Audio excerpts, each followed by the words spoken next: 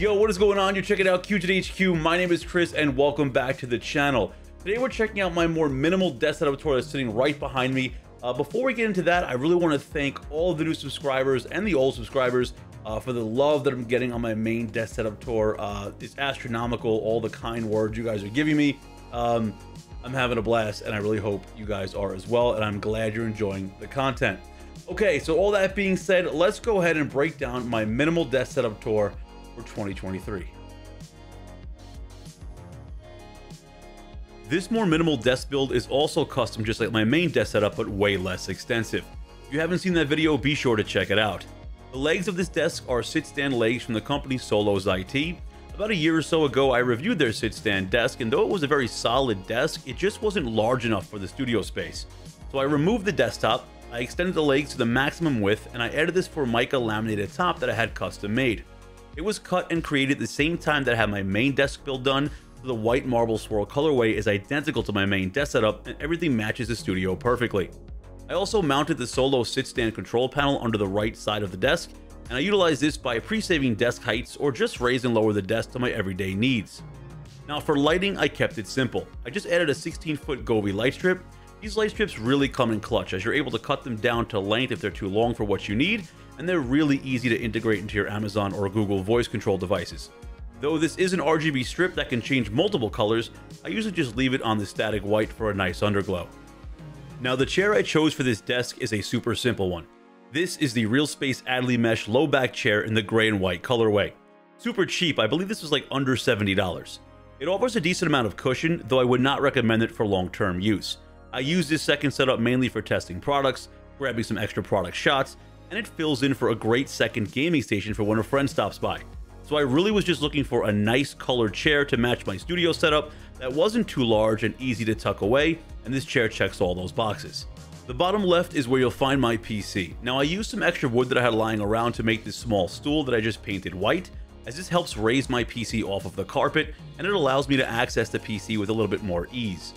Sitting inside the stool is where I place one of my RGB floodlights that I use to help light up my main desk bookshelf and some other statues that sit across from it. So on to the PC itself. This was a fun build as it was my first ever mini ITX build. My friends helped me throw this together for my official review of this case. If you want to see that full build video, it should be linked in the cards or the video description. Now the case is the IQUNIX ZX1 aluminum mini ITX case. This case is sold in many other colorways and is just so aesthetically pleasing. Believe it or not, it was not that hard to work in. I went for the white case here with the orange coral top, and inside this small case, I won't go into too much detail, but it rocks an Intel Core i7-10700K CPU, 16GB of Crucial Ballistix RAM clocked at 3200 MHz, the Asus ROG Strix Z490i gaming motherboard, and an EVGA GeForce RTX 3060 GPU. So again, this is much more than I really need for this setup, but when it comes to testing most products, it just hits all those boxes as well. And these components also make for a decent little gaming station. I think most people would benefit from this whether it be gaming or just everyday work. On the top, in between my display shelves, I just added two IKEA LACK shelves to tie everything together. On top of that, I have a few cranky spray can pieces to one of my favorite artists known as Sket1. Besides them, I have two LaFlame Kidrobot Dunnies by Junko Mizuno. Lighting those figures, I again added another 16 foot of Govee's RGB light strip that I wrapped around the entire shelf, to not just illuminate the art figures, but to also give some glow up into the back wall. Now, I usually set this color to match whichever color I got going on my main setup, and right now, purple and blue seem to be the vibe. Now for the backsplash. I could have just went with another set of wall panels like I have in my main setup, but I don't know, I just really wanted this to be different. And though this might look simple, it was for sure a task and a half. I went for this teardrop slot wall look in a two-tone black and metallic silver colorway, and I also added some custom lighting to this. Now I can give you guys a full DIY on this in a future before and after studio build if that's something that you guys are interested in. But for a simple explanation, I basically cut multiple pieces of wood into different sizes, spliced and routed these warm LED Christmas lights through the backside. I framed them onto a black backdrop and I kind of hung it up like a big piece of artwork. Now I have it plugged into an Amazon smart plug so I can turn this on and off with voice control.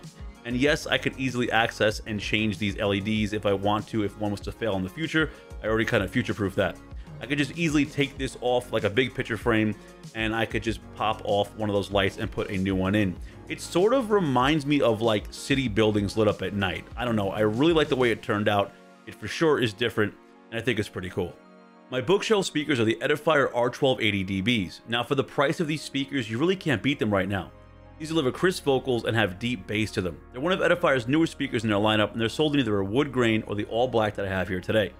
The all black with the silver line in the middle just really matched my backdrop perfectly. I cannot get enough of these speakers.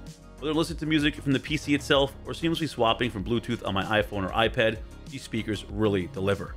On top of my left speaker, I have the black and bronze Tweety Bird by Martin Vecca, the limited black and white anatomical rubber ducky by Jason Freeny, just a little red Cambot by CZ. Now this is my LaMetric clock. This clock is definitely a little pricey, but it's pretty cool. It could display not only the time, it could display weather, music, as well as deliver live notification updates on things like subscriber count, Twitch count, and other social media all in real time.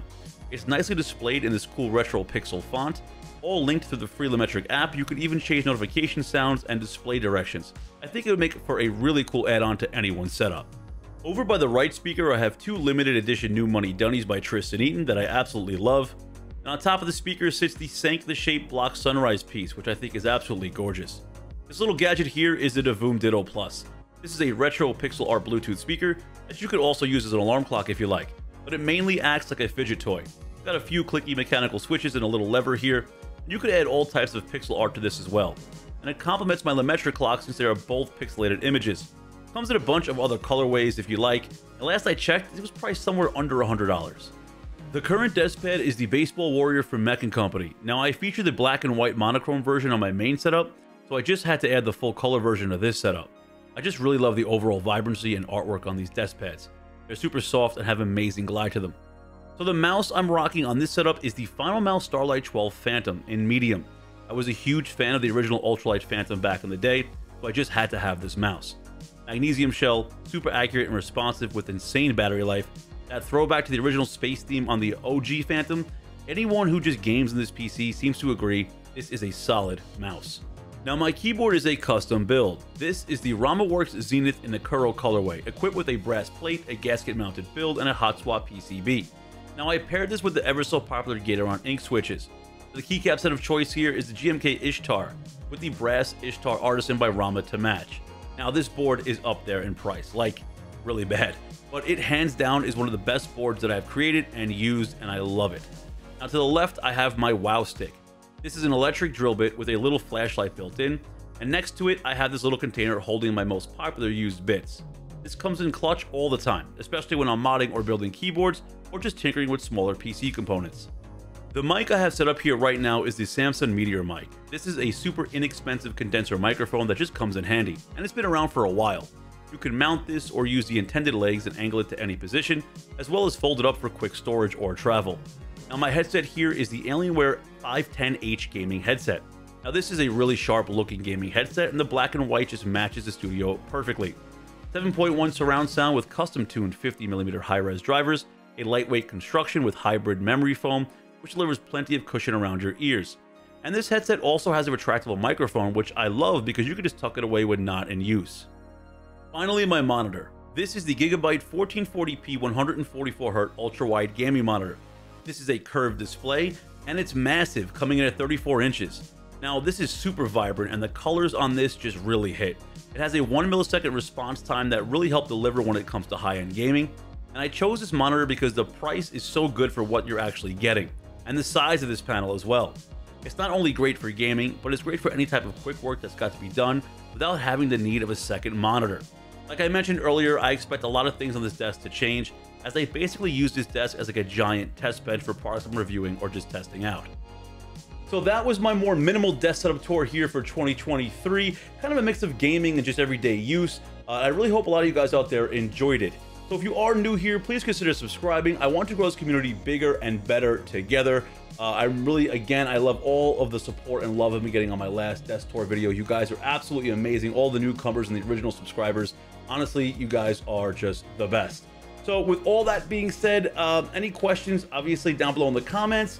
And uh, be sure to keep your eyes out for the full studio tour and a bunch of giveaways that are coming here in the near future. All right, guys, most importantly, you all stay safe out there. I'll see you on the next one. Peace out.